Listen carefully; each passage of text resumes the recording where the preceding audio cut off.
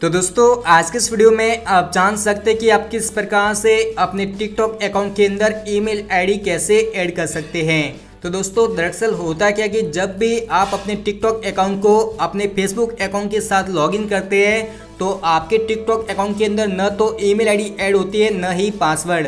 तो यदि दोस्तों, आप अपने टिकटॉक अकाउंट के अंदर ईमेल आईडी ऐड करना चाहते हैं तो सबसे पहले यहाँ पे आपको नीचे जो मी का ऑप्शन दिया हुआ है, आप देख सकते हैं।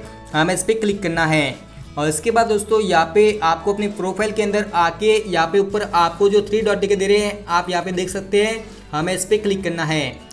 और उसके बाद दोस्तों, हमें यहाँ पे पहला ऑप्शन मिलता है, जहाँ पे लिखा है मैनेज माई अकाउंट तो आपको उस पर क्लिक करना है। और उसके बाद दोस्तों, यहाँ पे आप देख सकते हैं, यदि आप ईमेल आईडी ऐड करना चाहते हैं तो हमें यहाँ पे एक ऑप्शन मिलता है, जहाँ पे लिखा है ईमेल आप देख सकते हैं, हमें इस पर क्लिक करना है।